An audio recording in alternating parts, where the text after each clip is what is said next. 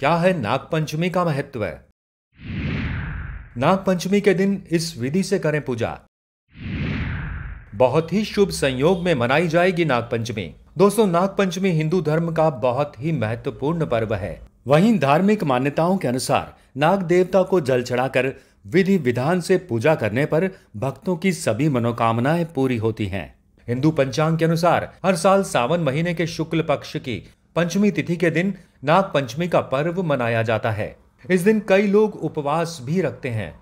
मान्यता है कि नाग पंचमी के दिन उपवास और व्रत कथा का पाठ करने से व्यक्ति को कई प्रकार की समस्याओं से छुटकारा मिल जाता है। चलिए आपको बताते हैं नाग पंचमी के शुभ मुहूर्त और पूजा विधि के बारे में।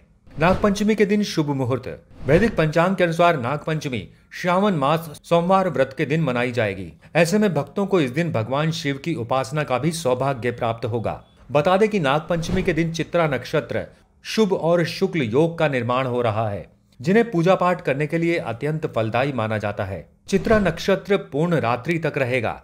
शुभ योग रात्रि दस बजकर इक्कीस मिनट तक रहेगा और उसके बाद शुक्ल योग आरंभ होगा। चलिए अब आपको बताते हैं आपको इस दिन किस विधि से पूजा करनी चाहिए। श्रावण शुक्ल पक्ष की पंचमी तिथि के दिन सुबह जल्दी स्नान ध्यान करें और व्रत का संकल्प लें। पूजा काल में एक साफ़ चौकी पर नाग देवता का चित्र या मिट्टी से बने हुए सर्प की मूर्ति स्थापित करें। उसके बाद नाग देवता को हल्दी, रोली, चावल, फूल इत्यादि अर्पित करें और फिर दूध, घी व चीनी मिलाकर चढ़ाएँ। उसके बाद पूजा के अंत में नाग पंचमी व्रत कथा का श्रवण करें और आरती के साथ पूजा संपन्न करें।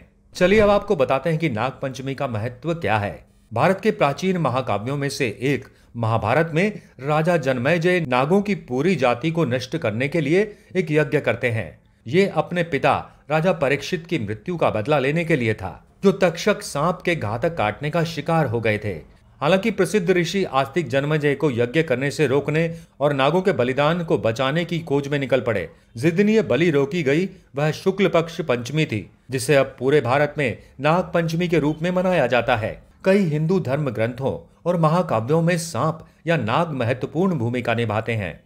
महाभारत, नारद पुराण, स्कंद पुराण और रामायण जैसे ग्रंथों में सांपों से जुड़ी कई कहानियाँ हैं।